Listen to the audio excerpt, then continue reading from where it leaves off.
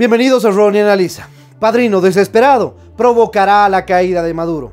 Como sabemos, el día de ayer, 5 de julio, fue el aniversario 209 de la firma del Acta de la Independencia de Venezuela. Un día importante, un día en el que nos recuerda por qué. Es que Venezuela debe de una vez procurar la libertad total del país y dejar de vivir en esta larga pesadilla de 20 años en la que vive hoy en día el pueblo venezolano como producto de la crisis humanitaria que ha provocado el régimen.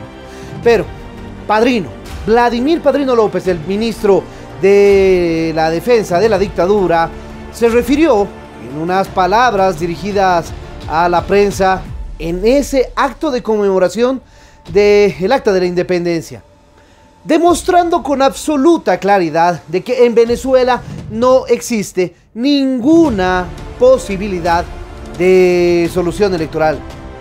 Simplemente no se puede, simplemente no existirá ninguna posibilidad. Vladimir Padrino lo dijo con absoluta claridad y contundencia. Mientras exista una fuerza armada bolivariana eh, chavista, en pocas no lo dijo de esa manera, pero casi le faltaba decir eso, nadie de la oposición será poder político. Es decir, que por supuesto, nada nuevo bajo el sol era de esperarse. Sabíamos que siempre los eh, esbirros de la dictadura, como lo es Vladimir Padrino López, entre otros, siempre van a actuar de manera política, nunca desde el punto de vista institucional. Las Fuerzas Armadas son una institución venezolana. Pero lamentablemente, como sabemos, Chávez desde su primer gobierno empezó el proceso de adoctrinamiento y permanentemente llevada a las Fuerzas Armadas hacia un pensamiento monolítico, chavista, socialista, procomunista, que al final terminó llevando a la catástrofe humanitaria en la que hoy en día se encuentra Venezuela. Y eso demuestra también que Venezuela vive una dictadura militarista con tintes escondidos de civil, de, apariencia civil, solamente para que no se recuperen los recuerdos de las dictaduras militares de los años 70 y 80 de Latinoamérica. Ahora vamos a escuchar las lamentables palabras del chavista acabado, chavista total, Vladimir Padrino López. Veamos. No, nos exige una facción de maleantes que se ha dedicado a robar los activos del país en el exterior, nos invita y nos exige a los soldados, dignos soldados y soldadas de la Fuerza Armada Nacional Bolivariana, a alinearse y tener mayor compromiso con nuestros intereses en el Esequibo. Imagínense ustedes el nivel de degradación que existe en estos sectores minoritarios de la política nacional. Pero hay que decirlo aquí, porque hoy es un día de reafirmación patriótica, de compromiso con la continuidad de nuestro propósito sublime de independencia. Hay que decirlo aquí. Cuando sabemos que esa facción de maleantes, de pandilleros, con el apoyo que tienen de varios países del mundo, apoyo írrito también, usurpando funciones, vienen a exigirnos a nosotros mayor alineación y compromiso en la defensa del Esequibo. Yo les digo, ustedes para llegar al poder político en Venezuela tendrán primero que pasar por la conciencia de todo un pueblo, de, de todo el pueblo venezolano. Pero también tendrán que pasar, así se los digo, en este, en este día sagrado, Día de la Patria y Día de la Fuerza Armada Nacional Bolivariana, tendrán que pasar,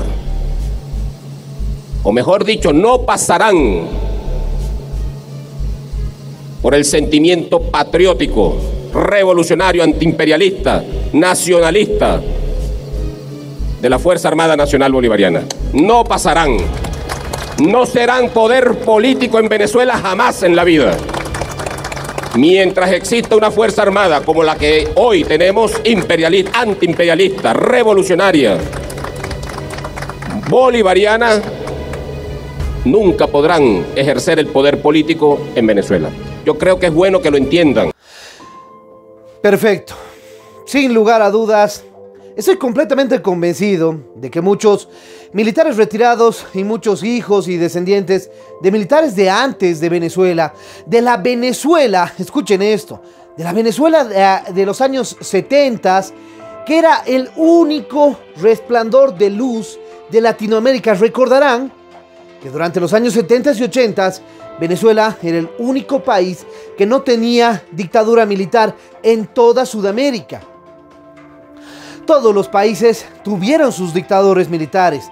Pinochet en Chile, Banzer en Bolivia, López Videl en la Argentina, Uruguay también tuvo su dictadura militar, de la cual sufrió mucho, por supuesto, el, recientemente presidente Mujica. Ni que se diga Brasil, con Getulio Vargas y muchos otros también que demostraron que Venezuela era un faro de luz, donde los militares respetaban su país, respetaban la constitución, la institucionalidad, la constitucionalidad. Hoy en día, lamentablemente, Venezuela vive una situación imposible de entender si no se la estudia con detenimiento desde su más profunda raíz. Esa relación oscura que Chávez empezó a tener con eh, Fidel Castro a partir de 1994, cuando fue liberado, y empezó el trabajo de la captura del poder por la vía electoral en Venezuela. Hoy en día, ya no existe ninguna, posibilidad de que exista una vía, una salida electoral en Venezuela. Sabemos que la situación es bastante simple y bastante clara cuando vemos un Consejo Nacional Electoral totalmente cooptado y un Tribunal Supremo de Justicia totalmente servil a, los gustos y caprichos del dictador Maduro. Y eso nos eh, recuerda, nos recuerda por qué es que decimos de manera permanente que diálogos y diálogos no van a servir que eh, circos electorales no van a servir. Que por supuesto ahora la situación se profundiza cada vez más en la crisis. El día de hoy se produjo un incendio de una em, refinería catalítica. Para aquellos que no comprenden muy bien cómo es el proceso de refinación de gasolina, básicamente eh, se los resumo de una manera muy simple. Algunos repuestos que se necesitaban implementar en estas refinerías porque se habían desgastado fueron traídos desde Irán. Se colocaron y al parecer estaba funcionando muy bien. Sin embargo, explotó esa refinería y ahora no hay posibilidad de que nuevamente pueda producirse gasolina dentro de Venezuela en, estas, en esta refinería que tuvo este accidente industrial. No sabemos cuál habrá sido la razón. Lo más probable es que Lógico, si le colocan un repuesto que no es a un, a, un aparato, a una maquinaria que necesita otro repuesto, es posible que funcione un tiempo, pero tarde o temprano va a entrar en un desperfecto y el desperfecto se dio y ahora otra vez Venezuela sin la posibilidad de producir gasolina desde Venezuela va a nuevamente depender de lo que lleven los cargueros iraníes hasta Venezuela y ahora están peligrando porque ya nadie quiere trabajar, ni siquiera los capitanes, ni nadie, porque por supuesto corren en riesgo sus patrimonios personales. Ya los Estados Unidos han anunciado una serie de sanciones para los capitanes de los barcos que estaban haciendo este tipo de operaciones. Esto, adicionalmente a esta actitud de Vladimir Padrino López, demuestra que no, no se puede pensar ilusamente en opciones electorales, en opciones de diálogo. Yo particularmente tampoco creo que pueda ser posible la opción de la eh, insurrección popular suelta, sin un apoyo internacional decidido, claro y evidente, militar, por supuesto. Por eso siempre hemos dicho que el camino es la intervención, intervención, intervención.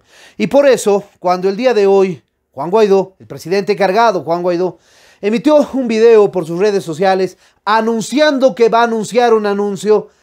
Muy firme, agradecer a todos eh, los equipos, estén muy pendientes. Eh, la semana que viene vamos a, comunicar, a eh, documentar rápidamente la estrategia. ¿Cuál es la estrategia a seguir? Los próximos pasos en tres áreas fundamentales.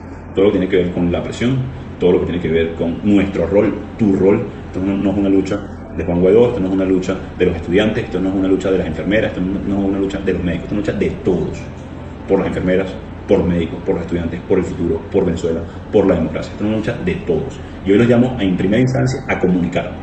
Ah, tenemos graves problemas de comunicación al interno eh, en, Venezuela, ustedes lo saben, por eh, no solamente lo que llaman los fake news, la información falsa, sino la poca eh, acceso a canales que tenemos para difundir el mensaje. Así que difunda que esta semana barrimos con la dictadura. Difunda que esta semana, manteniéndonos firme, funciona para golpear con fuerza a la dictadura. Informe que nos apoya el mundo. Informe que le ganamos 21 0 en la OEA. Informe que nos reconocen no solamente en Inglaterra, sino también las Cortes en defensa del patrimonio Venezuela. Informe que un nuevo país reconoce la lucha de los venezolanos. Que la ONU, que Michelle Bachelet eh, tuvo una actualización contundente y fuerte en contra de la violación de derechos humanos en Venezuela, que las sanciones europeas van dirigidas a los corruptos que han sequeado a Venezuela, que se ratificaron los respaldos no solamente de Estados Unidos, de países de Latinoamérica a la lucha que hemos dado. Ese es el primer elemento, la comunicación y no de ser presas de las falsas noticias, porque lo que buscan es desmotivar y generar miedo en este, en este momento de Venezuela. Eh, yo solamente espero que su anuncio de que va a anunciar un anuncio sea algo más concreto, más definitivo, más determinante, porque el pueblo venezolano necesita de una vez soluciones. Más aún cuando eh, la dictadura madurista misma ha tenido que empezar a admitir que la pandemia está creciendo en Venezuela. Y eso, por supuesto, repercute terriblemente en la economía, en la salud y en la vida de cada uno de los ciudadanos venezolanos. Es por eso que vamos a seguir bregando porque se produzca de una vez una conciencia internacional necesaria para generar una acción, una acción decidida hacia la libertad de Venezuela. Bueno, les dejo la opinión a ustedes. Si les pareció interesante este video, no se olviden dejarle me gusta. De igual manera, suscríbanse al canal y activen la campanita para poder recibir nuestras notificaciones. Déjenos su comentario aquí en el espacio de comentarios para poder realizar un eh, debate permanente sobre este tema y en ese sentido estaremos pronto con un nuevo análisis aquí en Ronnie Analiza.